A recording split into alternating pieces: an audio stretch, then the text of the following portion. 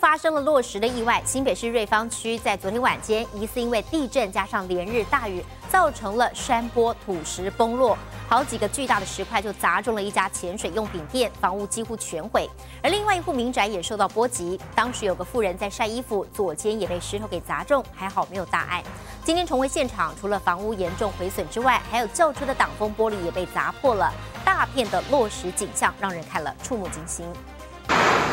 巨大土石从天而降，一旁轿车首当其冲，引擎盖当场被击中，旁边房屋更是惨烈。这边太危险。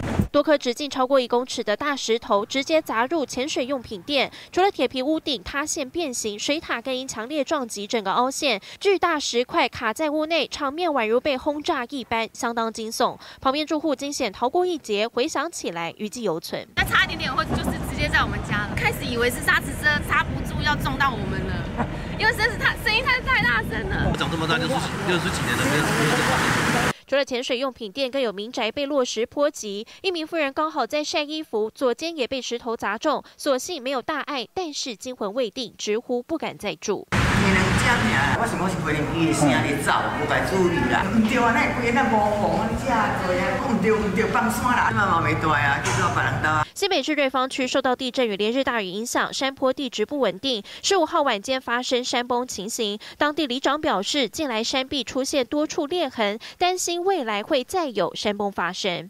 有人讲撤离啊，因为哦，咱即马就看会到这山哦，今日佫崩落来。